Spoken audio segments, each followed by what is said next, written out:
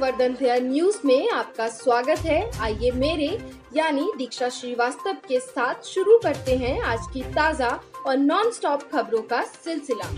परिसीमन आयोग की टीम से मिली कांग्रेस, अल्पानुच्छेद 370 और 35 ए की बहाली का राग। ईडी की कार्रवाई को महबूबा ने दिया सियासी रंग, माँ को भेजा गया समन तो सरकार पर लगा दिया गंभीर आरोप।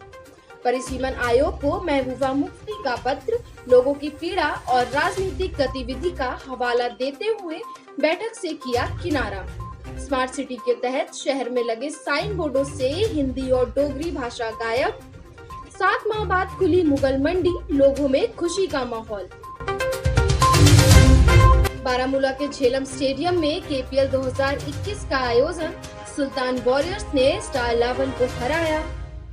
9 जुलाई को जम्मू आएँगी महबूबा मुफ्ती। बैठकों के अलावा करेंगी पुंछ रजौरी का दौरा। जम्मू श्रीनगर राजमार्ग पर लगा जाम, रेंगते हुए आगे बढ़े वाहन। उधमपुर में जखैनी से पुलिस ने 17 किलो चरस के साथ तीन लोगों को किया गिरफ़्तार।